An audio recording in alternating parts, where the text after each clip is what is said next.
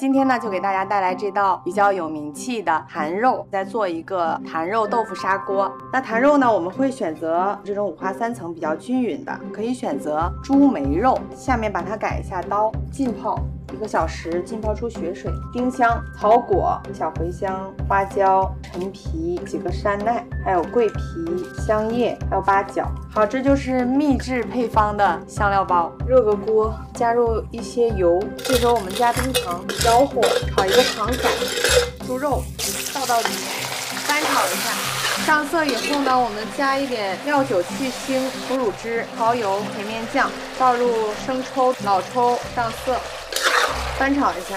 葱段、蒜瓣呢需要拍一下，姜我们用整块的，加入一些开水，需要没过这些肉，加入刚刚调制好的这个料包，大火呢煮十五分钟，转一下中小火，继续炖三十分钟。做到一半的时候，我们要把这个肉呢摆到这个坛子里，再给它炖煮两个小时。